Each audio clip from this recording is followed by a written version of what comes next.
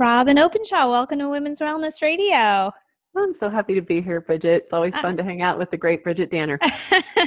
You're like a new friend, but I'm like just latching right on to you because you have good vibes, just like your your book that I just read. I want to talk about your book a little bit first. So your book came out. What date did it come out? Halloween. Just Halloween 2017. Okay. Yeah, and it's called Vibe and I just first want to compliment you on your writing style. Like it's it's not a huge book, which I really appreciate. And it's just written like almost like you'd write to like a friend. You know, it's not too academic and it's um not too like I don't know, like bossy. It's just like this is what I'm doing and this is you know, it's it's just really great. So congratulations. Thank you. You know, writing about vibrational frequency you know you can get deep into quantum physics but i i didn't feel like that's what people want to learn about. They want to learn about well the fact that everything in life is energy and frequency and vibration like einstein and tesla said what does that mean for my life? What does that mean for little micro choices i make in my day? Plus simon and schuster said don't write us an academic book okay? Mm. this, is, hmm. this is like what does this have to do with me? So we kept it really very conversational yeah I, I, you give the concept about like the hertz and things vibrating at a different level and then you really dive into implementation which is what i really like. So mostly today we're going to talk about detox but i thought we could kind of tie that into the to the book because the book is about um, low vibration things which is things like anger and processed food and and then high vibration things like essential oils and greens and love and and when we talk about detox, it's really like it is kind of about like tipping that scale, like taking some of those things that are heavy and, you know, depleting and increasing the things that like lift us up and help our body heal. So this kind of a yeah, maybe talk to us a little bit starting out, like how how doing a detox, like a cert for a certain number of days, can shift our vibration. Yeah. So here's the book since you asked me to show it. Good job. and um, yours was in a different room, so Bridgit asked me to get mine. uh, you know what? Living at the higher vibrations is, and it's measurable. We are made of electrical, mag- electromagnetic energies, and we have a field around us, and we actually generate this electromagnetic field, and and and it has everything to do with whether we are susceptible to disease, to disease. It has everything to do with what we're attracting in the world. We're attracting more opportunity. We're attracting good health. We're attracting other good people. Opportunities, higher income happens when we are built of higher vibration materials.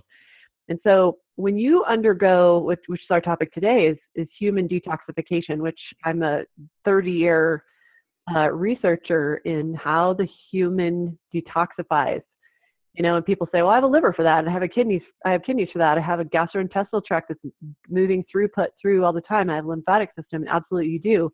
But it's like we're living in the dust bowl you know in the 1930s with and never changing our air filter. When we when we don't take some time to detoxify in a world where there's over 80,000 chemicals approved by our government for use in our air and water and food and more and you know just an industry and cars are pumping it out we're breathing it we're drinking it and so when we eliminate waste from our cells and from our organs, that's trillions of cells that get cleaned up, which allows us to be in the higher vibrations. And we feel better, we're more clear headed, we, we get into creative flow in our work, we feel more love, we feel more peace, we feel more joy, we're more excited to get out of bed in the morning. And people don't always link how toxic they are how toxic their liver is, how toxic their kidneys are. You don't link that to how they feel, you know, like what is the, the link there to depression and anxiety and all these psychosomatic illnesses that are coming out. My background is as a psychotherapist, um, but my body of work the last 10 years, my 15 books have been about nutrition and wellness. And so, you know, detoxifying has everything to do with living at higher vibrations. Mm, I love it. And you, you're kind of starting us off with the why, because I know people think about detoxing. They're like, oh, they kind of have a sense they should do it, but they're also kind of like terrified of like not having their coffee and like disrupting their schedule and being hungry. You just gave a lot of good reasons why. Like there's some high level reasons we can think about, like you know creating loving people around us and making more income or maybe it's just like on a more simplistic level right now just like clearing up your skin having more energy losing less some, inflammation. Yeah and everyone's just walking around like so dragging tired and not knowing where that's coming from. Um and we talk about the adrenals and like so like that it's like yeah that toxic load is really slowing down your energy right? Toxic load. I i like that. I talk about the toxic body burden and you know that is if you made it a simple math equation it is the input of chemicals. I mean there's research pretty recently that they take um, they take the baby's umbilical cord away. We know they go take it away and throw it away but when they test it they find that a newborn baby these days has uh, over 230 carcinogenic chemicals in her umbilical cord. And so we're actually coming into the world now these days with all these these toxic chemicals. So we need to do something proactive. We need to do something to optimize that output because this is a time in history that is unprecedented, you know.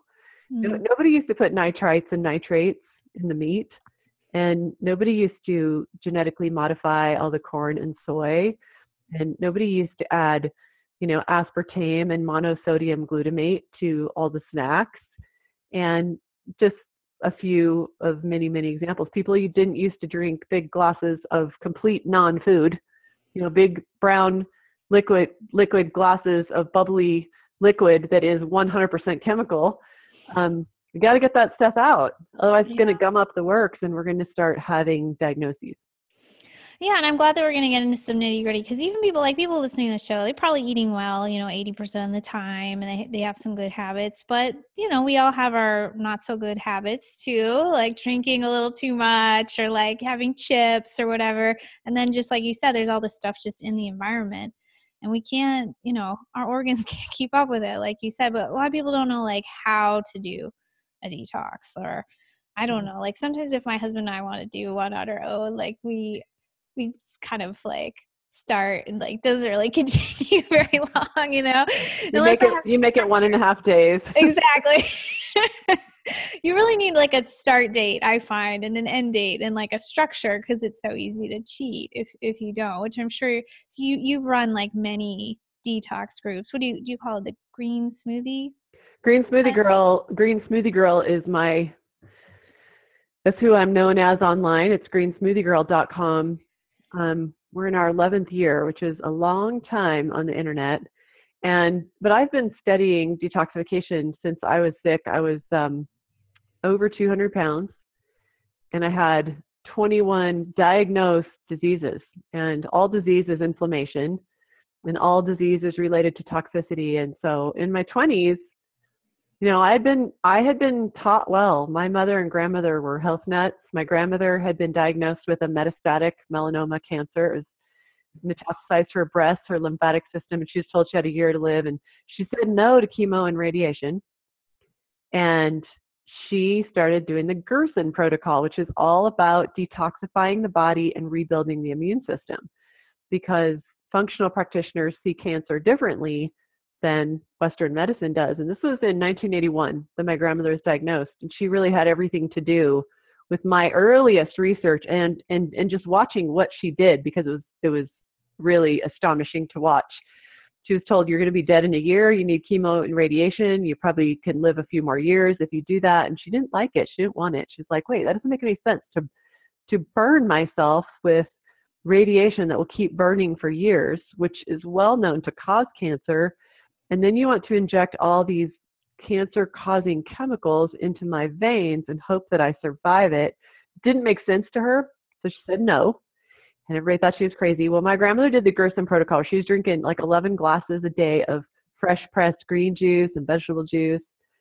Um, she's doing things that are cytotoxic to cancer cells, like eating apricot pits, which has B17 in it, or Laetrile um, it was illegal in the United States in 1981. Now you can go get them on Amazon, but she she did a bunch of things like that. And my grandmother beat cancer. She went on to live another 20 something years. And you know, I was a sophomore in high school when she was diagnosed, and she was there when all four of my babies were born. Oh, that's and amazing. It it was it was a great inspiration to me, and she gave me the, my very first books. when I started, you know, in my 20s and 30s, and I started to have friends diagnosed with cancer, I had I had my grandmother come over and meet with them, and and she gave me some of her books, and I started studying and studying and studying. And at the same time, I was not eating a healthy diet. I was eating the standard American diet because it's just so easy to default into. Like you have to really care about it to opt out of it. And I was sick and fat. And when I did my very first detox in my 20s, I kind of had to slip it in between. I had I had four babies in a row in seven years, and I had to be not nursing and not pregnant. That's important. If you're going to do a serious detox, you don't do it when you're pregnant because all those toxins come through all your bodily fluids. So it's going through your blood and it's going through your your milk supply. So that's not a good time to detox. So I did my first one and I'll tell you it was absolutely life-changing. And it showed me how much power my body has to heal itself when I give it the right nutrition when I give it a break from all the the garbage that I ate back then. And I but the the detox I did, you weren't eating anything for 20 days. You Nothing. I drank water. I drank. I was allowed to have some little bit of vegetable and fruit juice that I make myself with the juicer, you know. But we we would drink a glass of water with psyllium husk powder and bentonite clay stirred into it. Mm, that was it. Yeah, and then we took some supplements, and it's a super hardcore detox. And I have found that even just since I started doing that, what was that, 20, 20-ish years ago, I actually did that program three times over the course of a few years. And I, I actually eliminated some stuff that I had read. One, one of the great researchers and clinicians whose work dramatically influenced me building my own program with all the best of all the greats all over the world in human detoxification is Bernard Jensen. And my grandmother had given me given me one of his early books. He lived to be like 95, and he helped over 10,000 people eliminate from their colons this stuff called catarrhal mucoid plaque. And it's basically hard tire rubber like stuff. And I was so amazed looking at these pictures. There are tons and tons and tons of pictures. And keep in mind, he was taking these pictures back in the like 60s, 70s of like you could pick it up with tongs. What was coming out of people's small intestine all the way down through the transverse colon you can see where it came from based on the striations and based on the the, the shape of the the catarrhal mucoid plaque that came out. And i read that i read bernard jensen's book and i was like if that is in me i want it out. I can't i can't imagine that tire rubber is is inside my gastrointestinal tract, 35 feet of it, right? And it's not affecting these symptoms that I have. Like that can't be good for me. And so I was super curious about that. And I did that program for 20 and 21 days, the, the three different times I did. The only time catarrhal mucoid plaque came out of me was that first time. It motivated me. Now I eat a mostly plant based diet. I eat lots of fiber. I drink a quart a day of green smoothie. And I do that day in and day out. I mean, you've been to conferences with me and if you're paying attention you'll see my green juice or my green smoothie at the at the table. I i always have it. Even when i travel i freeze it and put it in my suitcase. So i eat a much cleaner diet because i was so motivated by what happened in my first detox. But when tire rubber came out of me i made a believer of me. And catarrhal mucoid plaque is just one of the things that happens in the body when we eat you know processed flour and processed sugar and lots of animal products. We're not really bu- built to eat as much animal protein as most people are doing. And so it was really astonishing and, and, and it set me on a path of research. I ended up many years later after studying the work of Bernard Jensen, Dr. Ann Wigmore, Max Gerson, who is an MD, came from Nazi Germany, helped tens of thousands of people heal of cancer either heal of the chemotherapy and radiation after the fact or heal of cancer without using chemo and radiation like my grandmother did. Um, the work of Dr. Richard Anderson. I, I not only studied all their work and, and my work, my protocol that I put together, which is a 26 day pre- protocol, uses all of their best practices. But I also flew all over the world for about three and a half years and I went to 19 different functional medicine clinics or or biological medicine is what's called in Europe and I went all over the world to 19 different clinics and I interviewed dozens of doctors to learn what are people doing worldwide to detoxify. Okay, because we've all got heavy metals in us, and that puts you at very high risk for cancer and neurological disease. And what are they doing to rebuild their immune system? Because in functional medicine, we believe that cancer isn't a tumor. Cancer is, you go underneath that, cancer is a catastrophic failure of the immune system. Mm.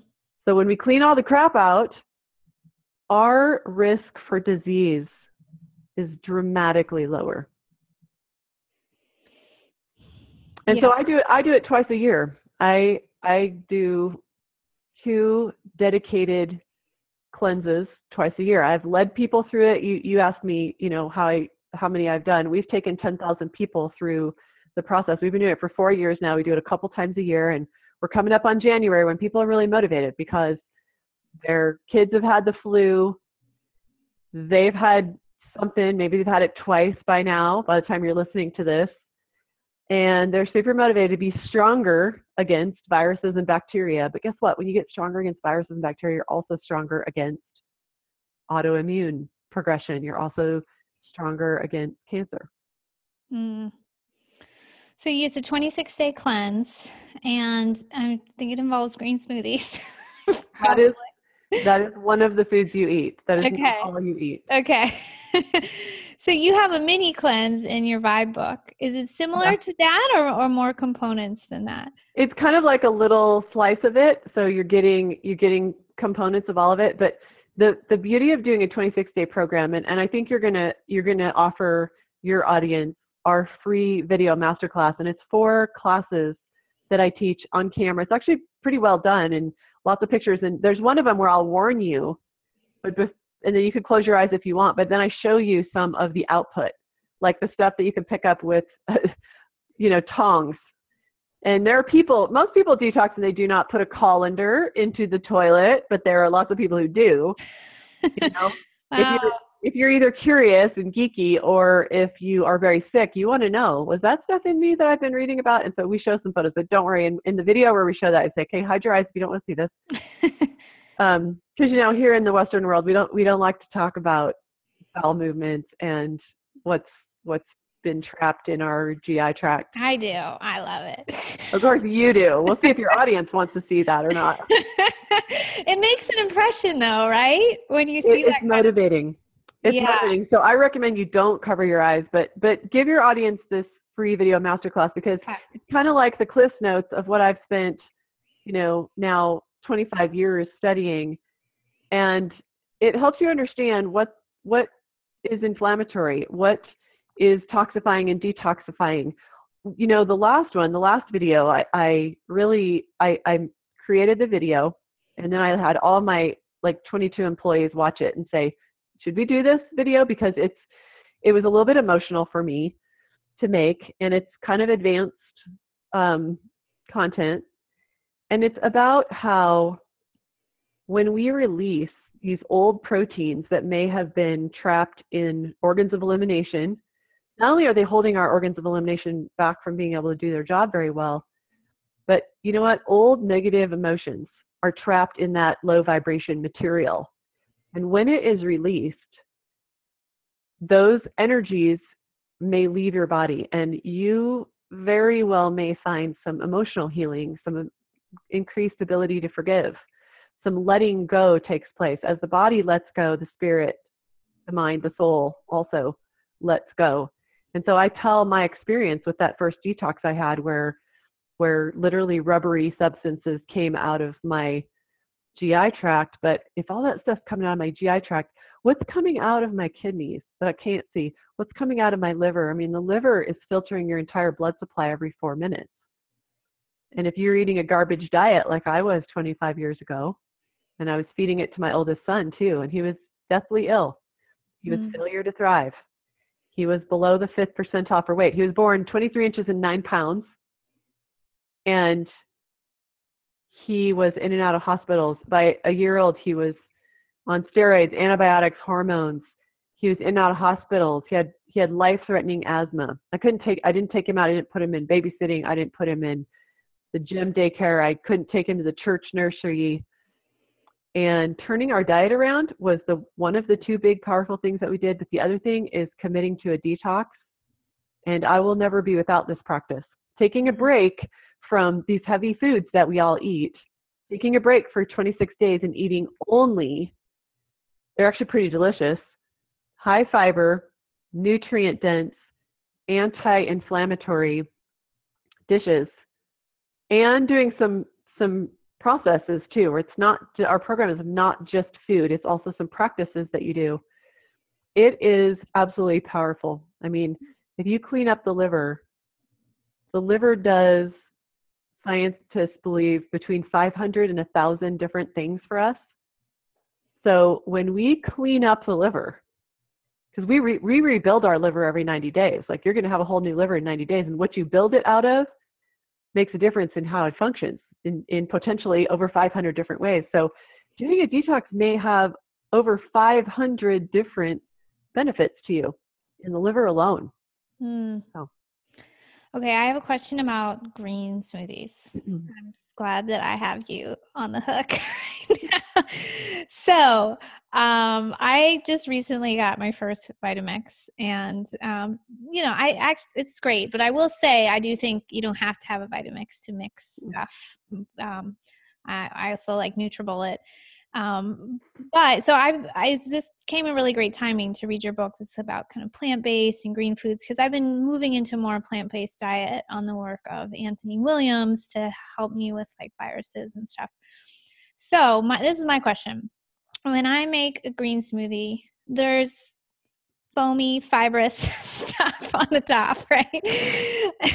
we thought maybe the Vitamix would cure that, but it doesn't do I have to drink all of that stuff or can I just drink some of it or is it like optional? What's your take on that? Do you put a banana in?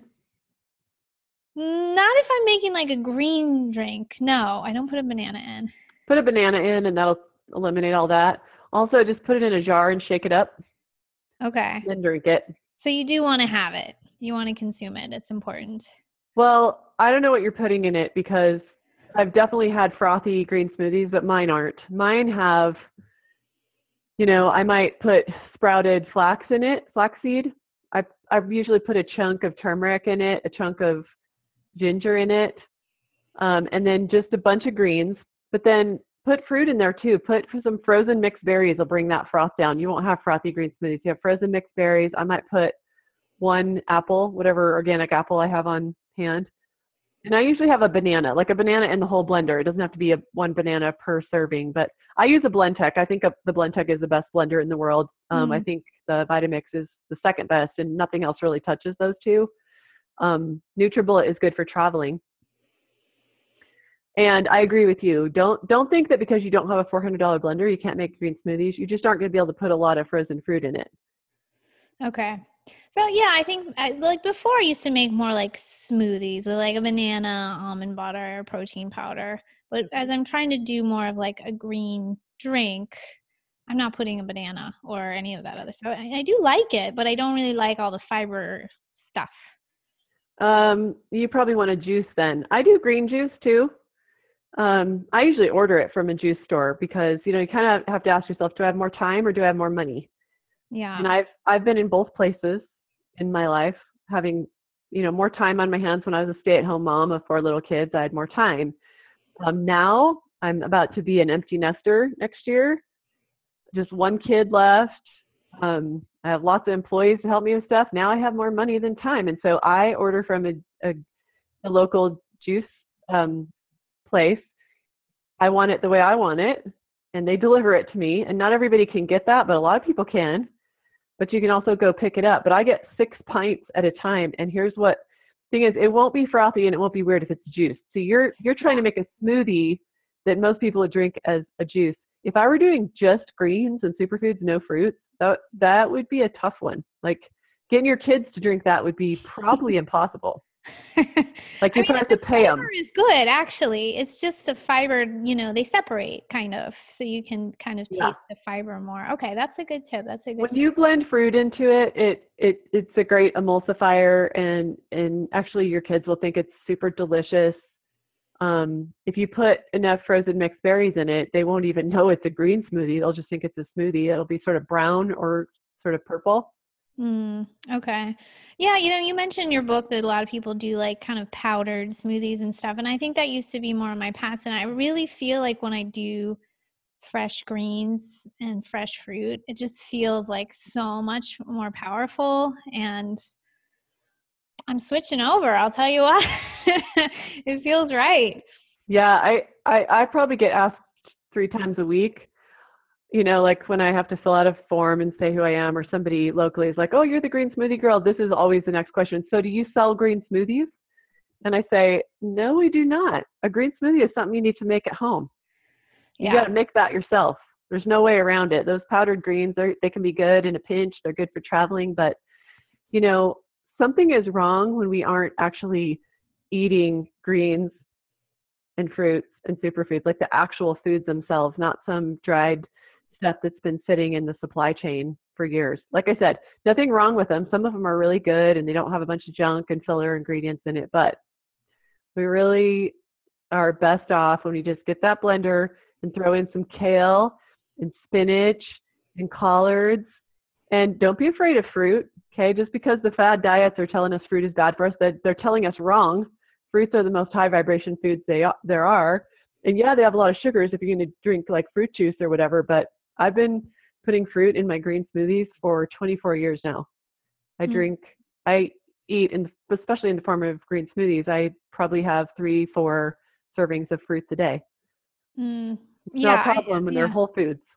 Yeah, yeah, especially when you get all the fiber and such. And I don't know, there may be some people who are so insulin resistant and inflamed yeah. at the moment that they can't take some fruit. But yeah yeah I, I really want to talk to you about like fad diets and plant-based diet because i was sort of in that i wasn't like a card carrying paleo but paleo was so dominant for the last yeah. eight or ten years or whatever so i was sort of like on a paleo template um, but i'm still like working on my health and i'm and i'm reading this person's work and it's like you know a little similar to yours like plant-based you know really encouraging juicing fruit like raw food and all the stuff. And I thought, you know what? Why not? Like, let's have an open mind. Let's just try it.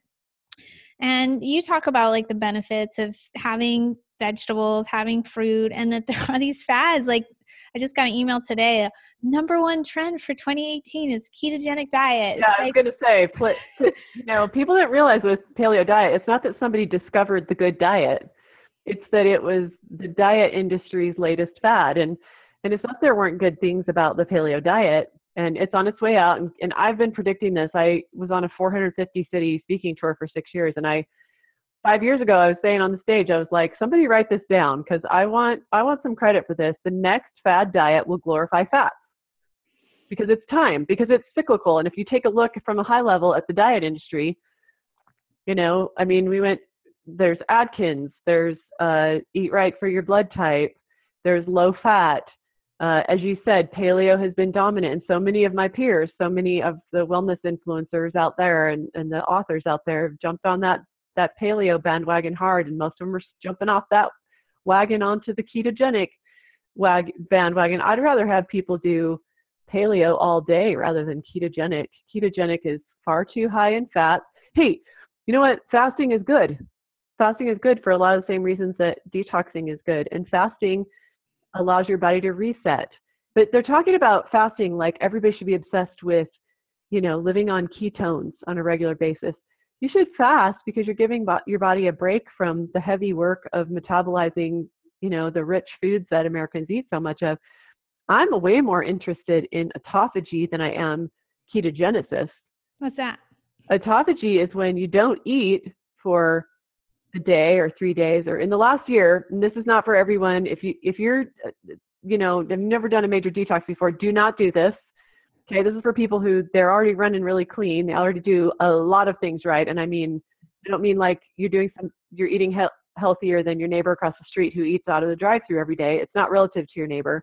I'm talking about do you eat a really really healthy diet? I have three times in the last year done a water fast for seven days nine days and 12 days so if you if you want to powerful, powerfully kill the cancer cells in your body, you don't need any food, because then all these all these functions in the body that were devoted to to to digesting food, they start digesting aberrant cells. So autophagy, when the body is not given anything but water, goes out and starts killing the cancer cells and killing the bacterial cells and metabolizing and eliminating the mycotoxins.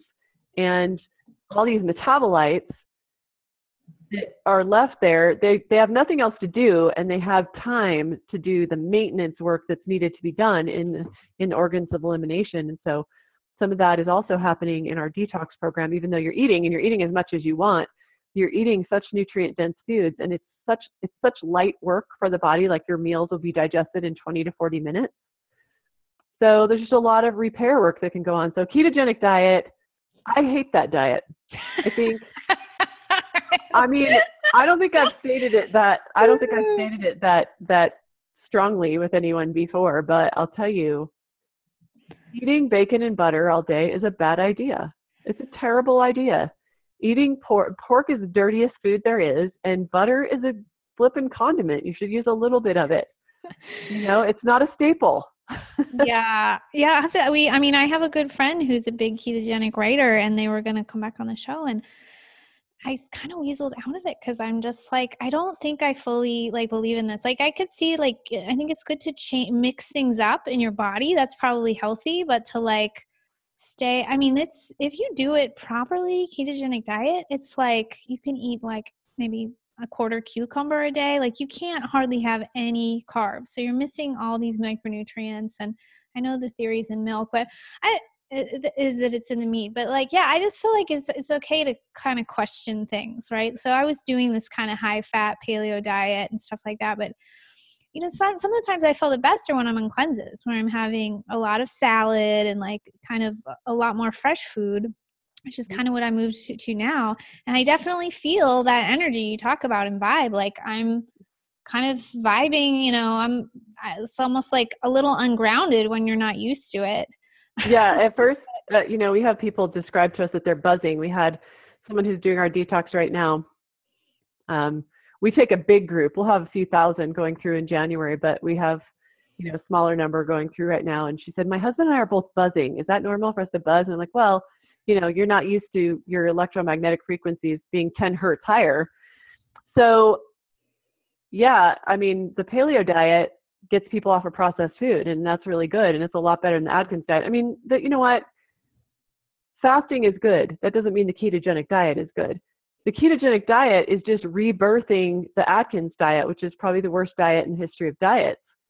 And except they throw in a little twist, which they have to because in order to make, you know, 22 billion dollars, which is what happens every time you drive a new diet into, mm. you know, the the food channels, and you know, the diet industry, but the diet industry really makes its money on all the, you know, keto approved, you know, labeled packaged foods in the stores. And nobody's getting well and nobody's losing weight sustainably on You know, we're not supposed to eat that many fats and we're not supposed to eliminate carbohydrates. I mean carbohydrates have been 70 to 80 percent of our food source since the dawn of man and it's it, you know the paleo diet was sold to us as this is what paleolithic man ate and you can go look at a great youtube on that by a by an anthropologist scientist showing that that the way people are eating on the paleo diet has nothing to do with what Paleolithic man was eating.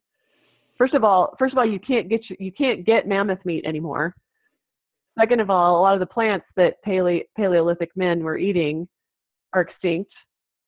Third, a lot of the meat people are eating on the paleo diet has all kinds of nasty in it, like steroids and hormones and antibiotics. And so I am friends with the paleo diet in that they're getting people off of processed food so people get on it and they feel better because they're not eating white flour and sugar and, and chemical sweeteners. And so there's some good things going on there. But my big issue with the paleo diet is how much meat people eating the paleo diet are eating. I mean, if you want to add to the work of the author that you've just read, make sure you read. I'll say these few in case your your audience wants to go read some of the incredible classic works covering each one of them has references this thick at the end. Like uh, each one of these cites hundreds to thousands of studies.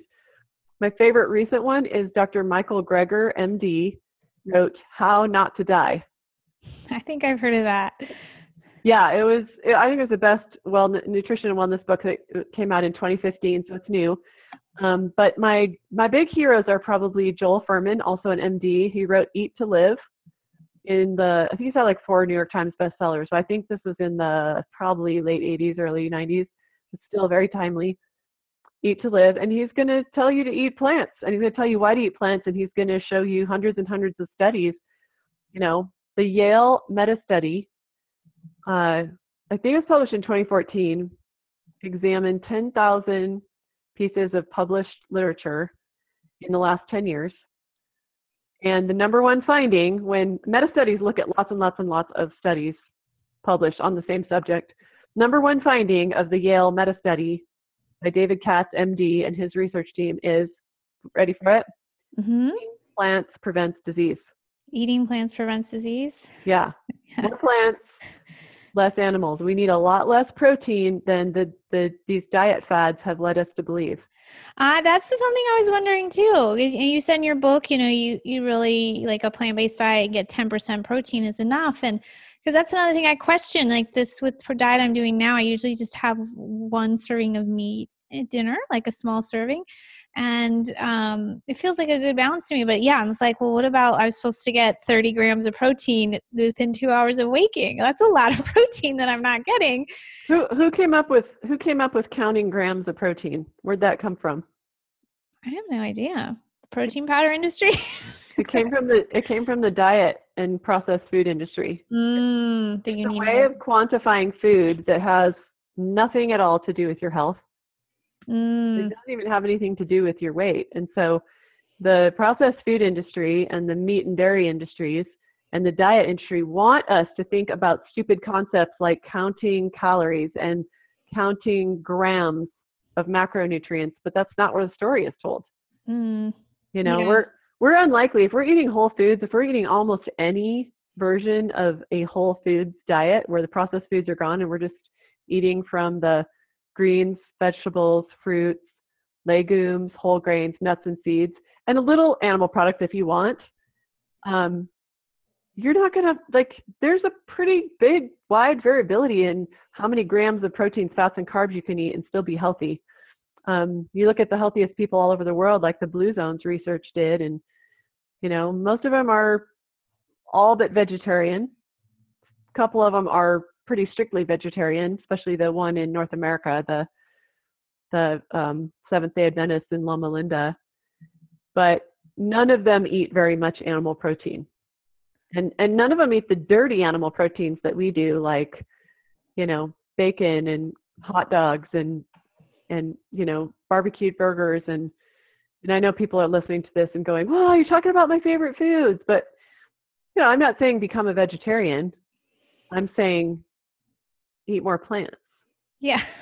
You know, to be honest, when people would tell me, like, I have a friend who's vegan, he's like, I just want people to be more plant based. Or our friend Rita Marie, she's like, vegetables first. And it's almost like I didn't, it didn't fully equate somehow. But you really have to put some other things to the side to to to grab onto that. I think that's where move paleo falls flat. They do kind of put the meat high and they don't say, hey, think about eating vegetables first. So you just fill it with meat. You fill the empty space with yeah. meat. you know, they, they don't, they definitely do not uh, tell you to limit your meat. And it, it's funny, there's one study about people who've been on, there's people have been on the paleo diet or, you know, that nobody stays on it for very long usually. And nobody stays on the ketogenic diet. It's just not sustainable. Like nobody's going to eat like that long term.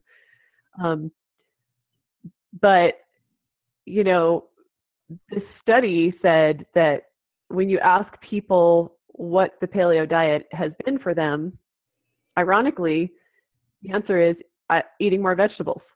Oh really? And so if that's what the paleo diet is then i'm for it.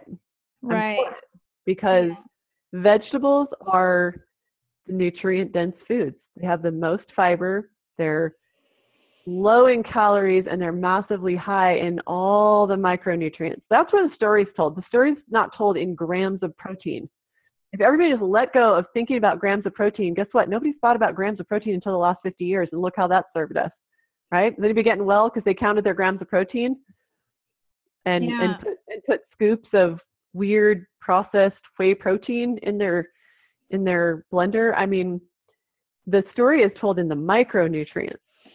Yeah, yeah, that's kind of what Jayson and Mira Calton talk a lot about, and I, I that really resonates with me. You know, you, you you talking about the function of the kidney and the liver and all that. Like, oh, how do they get to function? You talked about making a new liver. Well, what do you want to make it out of? Well, it wants all the things that it wants. It wants glutathione and B vitamins and stuff. And if you can get those from a quality source, then it matters. Like if it's whale blubber or or plan yeah. or whatever. So yeah, I I like that one too. And yeah, I I just kind of want to introduce to audience like this is kind of something I'm trying and thinking about. It's something you've been doing a long time.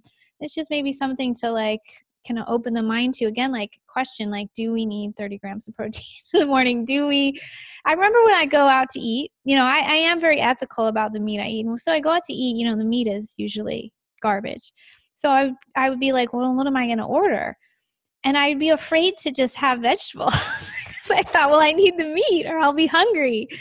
I don't know. Like, I think that's just a construct, though. It's just like we become used to eating meat all the time. So, yeah, I um, I think about grams of protein never, and I think about calories never, and um, I don't think it's helpful Eh, but I think that we've all been brainwashed to think that that's really important. And then we get really crazy. Like you have to get, actually be really smart and you have to be really planning ahead and you have to be almost obsessive to put all that silliness in our heads that the diet and food manufactured food industry wants us to be thinking about and go think about what actually matters which is the levels of micronutrients and eating the rainbow and that all those different colors of natural whole plant foods have what we need. I mean, you add those two things together and most people's brains will explode.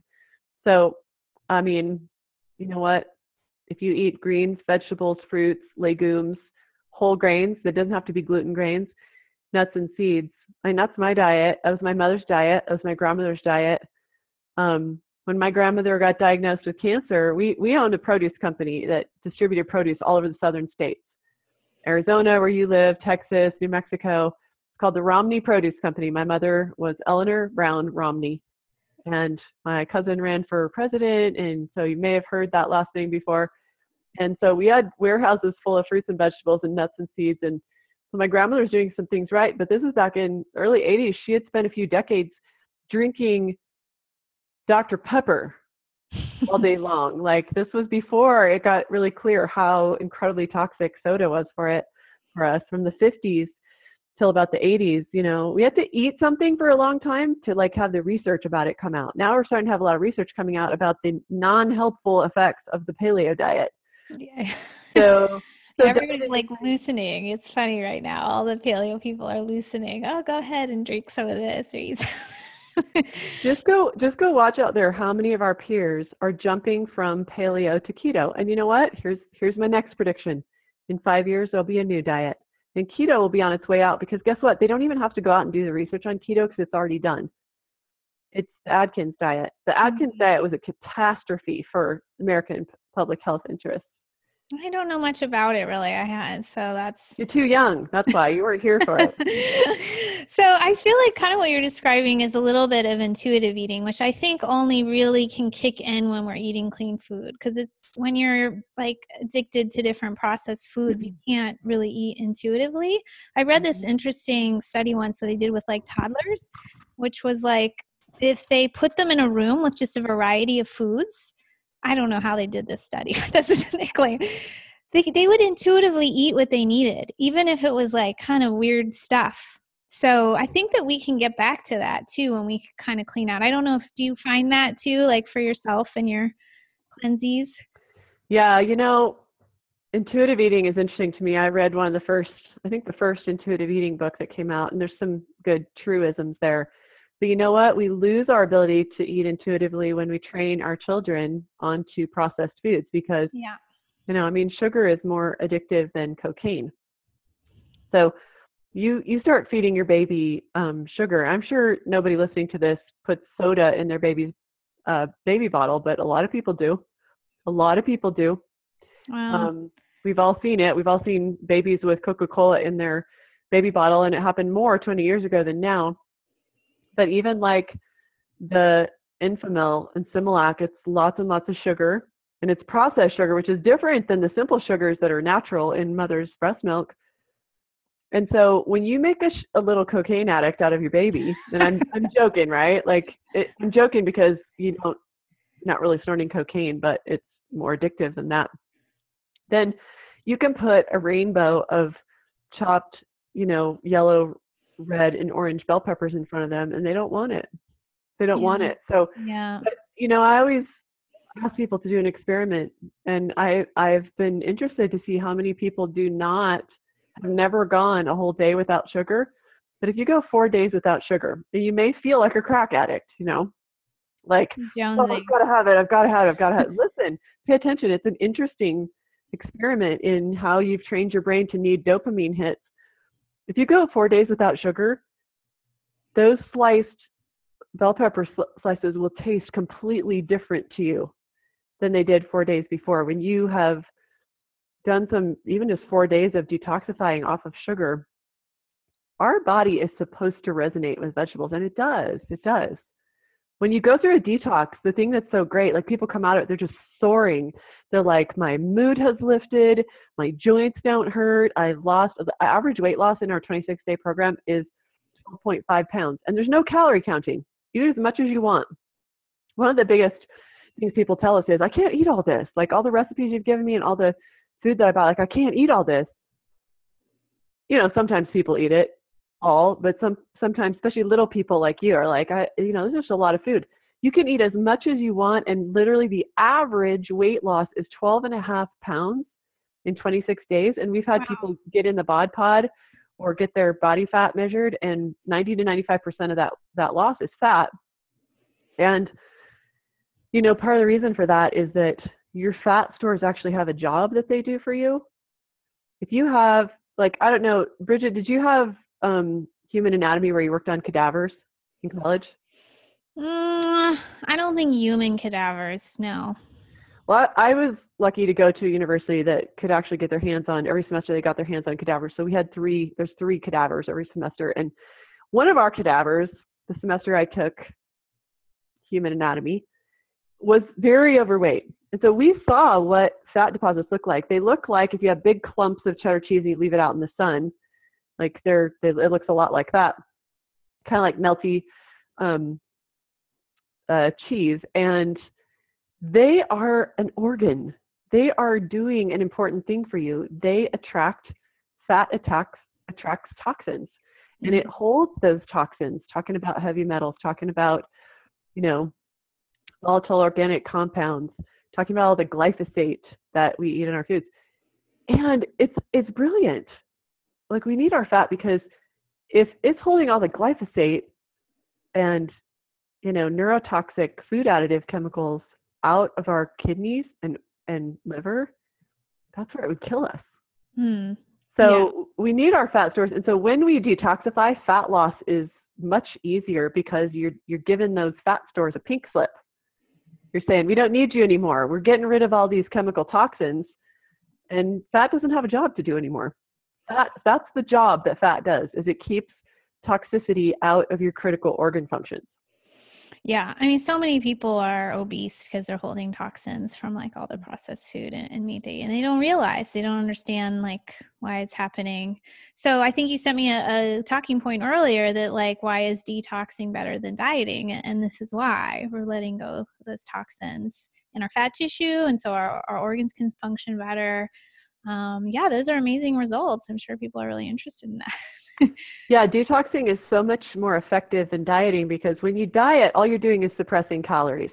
And you're counting and slicing, you know, you're slicing and dicing your grams of proteins, fats, and carbs, and whatever whatever fad diet you're following will favor either protein or fat these days. These days, which is so sad because the carbohydrate, like people talk about carbs, and I just uh, I can't stand it. And people say carbs. Carbs is a meaningless word because an apple is a carb and a donut is a carb and they don't even belong on the same planet Go back to Donut Planet.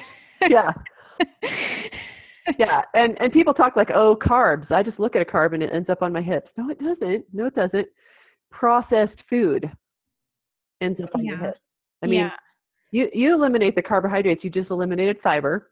So I mean, Dr. Atkins back at the time that Atkins diet, which is the to this day, it's the most suc successful diet in the history of diets. Billion dollar empire. The guy died of heart disease. Um, and it was so successful because he was telling Americans to eat what they wanted to eat anyway. Have all the burgers and cheese and bacon and butter that you want. It's back. It's back. It's called the ketogenic diet. Only, only they mix in some fasting.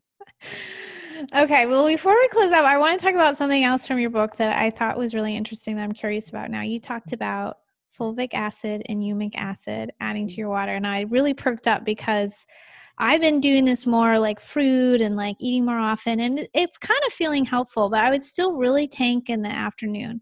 And I was like, something is is not right. Adaptogens don't work. Eating more doesn't work.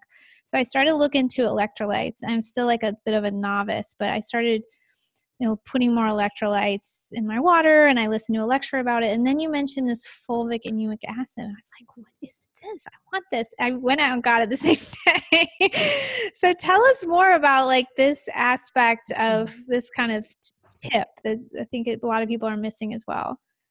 Yeah, fulvic and humic acids are found in decaying plant matter. And decaying plant matter is what feeds our crops. Like in a in a natural ecosystem, not what they do now, which is they spray nitrogen on the top of the plants and and um but in an ideal situation, there's all this decaying plant matter, we might call it, you know, humus or compost or but eventually deep in the ground this decaying plant matter turns to shale. It eventually becomes rock over the course of thousands of years. And what most of the supplement industry does is they take rocks and chalk and they grind them up. You can actually, you can, if you have the right equipment, you can grind up rocks and chalk. And it's, you know, then they can sell really inexpensive mineral supplements. Minerals are incredibly important because every single thing that your body does draws on your minerals. And there's about 90 of them. If you lump all the minerals like, you know, calcium and magnesium and, you know, the ones that you know of, there's a smaller group of those, but then there's a whole lot of trace minerals. You don't need very much, they're trace minerals, but over 90 of them. And when you take rocks and chalk and grind them up, guess what? They have lots of minerals in them. They might even have some shale might have all 90 minerals And. The problem with most of the supplements is your body doesn't actually metabolize rocks or chalk, does not recognize it as food. And so it's not what we call bioavailable. Well, before it turns into rocks and chalk, when it is still decaying plant matter, if you take that dark black substance out, that's the fulvic and the humic acids. And we, I, I had a really excellent experience the first time I started using it. But then I found out that company's product was a little bit of fulvic and humic in a quart of water. And that makes it, you know, that's from a manufacturing standpoint, that makes it seem like I got a lot of I got a I have a lot of it here. No, you have a quart of water with a little bit of fulvic and humic in it. So Green Smoothie Girl's most popular product is our completely concentrated, it's black, it's liquid in a dropper full, and you put a dropper full in your water first thing in the morning and last thing at night. And I'm telling you what, it the effects that people have are absolutely amazing. I was using another company's product and then I found out how much water it was and I was like, I don't want to ship I don't want to ship water all over the United States. You know, that's like not a good use of fossil fuels. And so I wanted just fulvic and humic acid. You'd add it to your own water. So we got this product. It's out of organic plant matter in Texas, actually. And it supplies every single mineral. It's rich in electrolytes. It's alkalizing. It oxygenates. Um, and so people are just low in minerals. And like I said, you need minerals for every single thing your body does. You're constantly depleting those mineral reserves. When I started using fulvic and humic acid, the fulvic acid allows you to bring nutrition inside the cell better. No, other way around. Fulvic acid helps push out toxins from the cell. Humic acid helps bring increase cell permeability and bring the nutrition that you're eating inside the cell, helps you nu- use nutrition better. And it's what what our plants, our crops are supposed to be getting their nutrition from, but most of our soils are depleted. So we might be eating our greens and our vegetables and fruits and nuts, but the tree or the plant isn't able to bring all that nutrition uh, out of the dirt like it used to be because we over farm the the soil. So using this was miraculous for me and it caused me to go and make a better version of it because here's here's the things that happened. My my hair started to grow faster and my nails started to grow faster and I was like, what is going on here? I don't like to have long nails because I'm a competitive tennis player and a pianist. So I don't want long nails, but I was like, I'm having to cut my nails every week. Um, hair growing thicker and longer. I already have thick long hair, but it like was crazy. It was absolutely crazy. And we've had hundreds of people tell us this. It's our most repurchased product. But another thing that it did that I was not expecting is, and I had to go to our biochemist and say, what's going on here? Is that I had like 30 years of insomnia.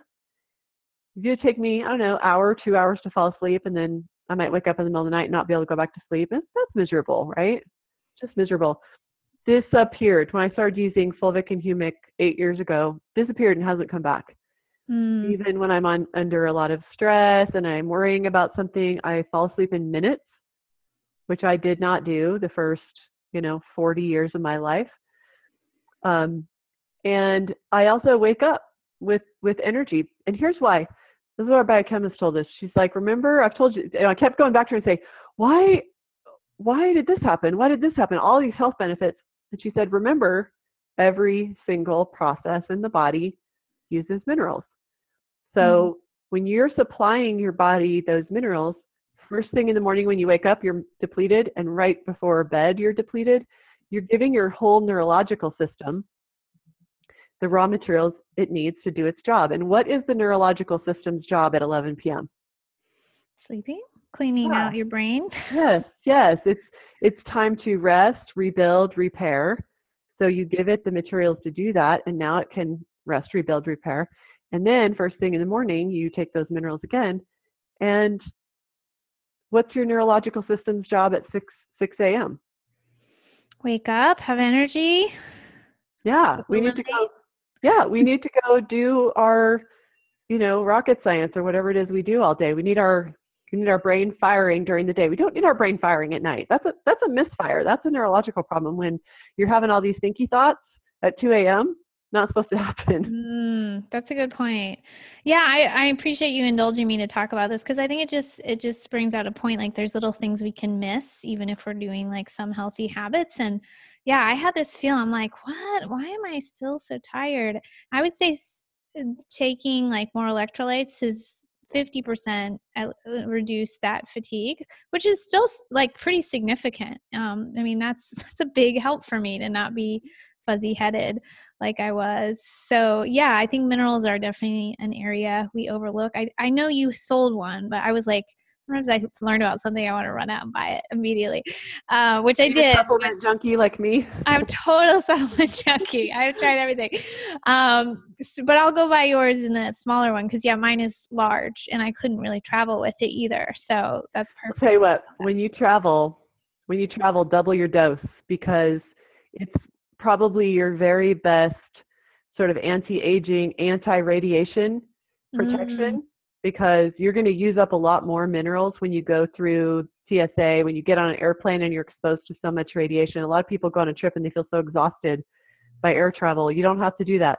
So instead of one dropper full in your water first thing in the morning and one dropper full at night, double up. Now it can be really detoxifying. So when you get started, don't don't double up when you very first start using fulvic and humic, especially use it in really potent like ours. Um, and I don't I can't find any anywhere that's not super diluted. If ours was any more concentrated, it would be a solid. Like it it like we took as much water out of it. You know, like there's it to stay in solution. It would uh, you know there's as much in there as we can get. And so start with one morning and night. But then after you've done that for a week or so, if you don't have like a little more, you know, eliminating going on, you, you're feeling good, then put it in your water after you go through.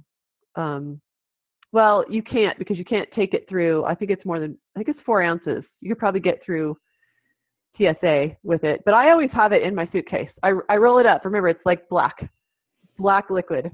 And when, when you put it in a glass of water, you won't taste it. It's pretty flavorless. So you, know? check a bag and you put in like your frozen smoothie and your fulvic acid and all your all your goodies that keep you healthy. Yeah, I take frozen green juice and I have the like I said, I have the juice bar close by make me just it's just greens. If it's juice, you'll you'll like the taste of it. It's nice. It's not thick because it's just juice.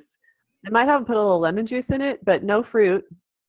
Um, with a smoothie, I put fruit in it because you got to get that thick stuff down, and without fruit, it's just most people won't do that. They just won't do it. So when I travel, I I freeze that fresh pressed green juice and I mm. wrap it up in a bag and I roll it up in a pair of jeans or whatever. And then when I get there, it can slowly de-thaw, defrost or I put in the, fr- the fridge in my hotel room. But, you know, so I, I travel with green juice. I don't travel with frozen green smoothies because thawed green smoothies are gross. Ugh the fiber doesn't unthaw well. Okay, that makes yeah. sense. Yeah, it's worth it to check the bag. People are so averse to checking a bag. I don't really think it slows you down that much to check a bag, and then you have to haul it around everywhere, which is nice. Yeah, so but, but you can take your frozen green juice through through TSA. Oh, really? Oh. Yeah, as long as it's frozen, it's a solid. so silly. Okay, good to know. Good to know. Okay, so we're gonna share a link to some free videos that you did. Um, you mentioned some of them. So there's could toxicity be why I'm sick?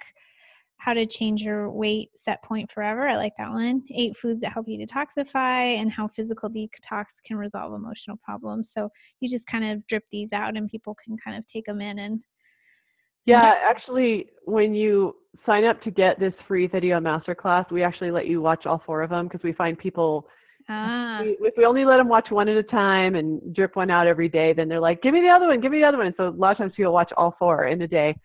Um, and like I said, don't watch that last one, which is pretty advanced stuff on how we emotionally resolve re- emotional problems when we do a physical detox.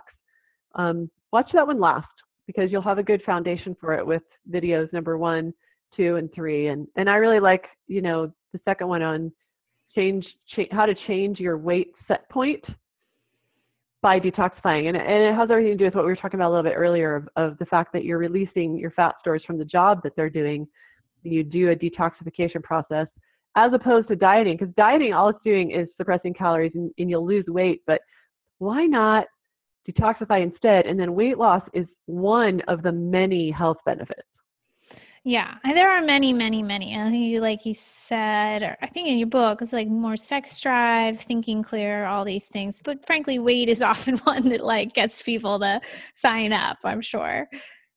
Well, it's the number one thing on people's minds, and I find we can't get people to talk about how's your liver functioning, you know, and how's your how's your um, digestion working. If they have weight to lose, that's their number one goal Mm, so yeah. you know, we don't have to just lose the weight and then think about that. Let's let's do it all at once with a with a detox instead of a diet.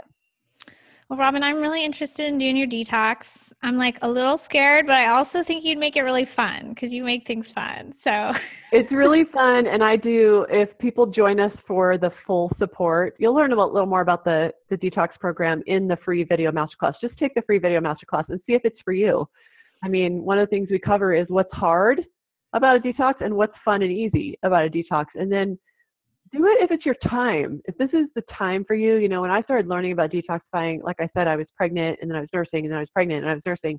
And I was like all in and I was, you know, it's like, are the health benefits you want to achieve greater than your anxiety about it? And I'm glad you said I'm a little nervous about it because that's that's okay.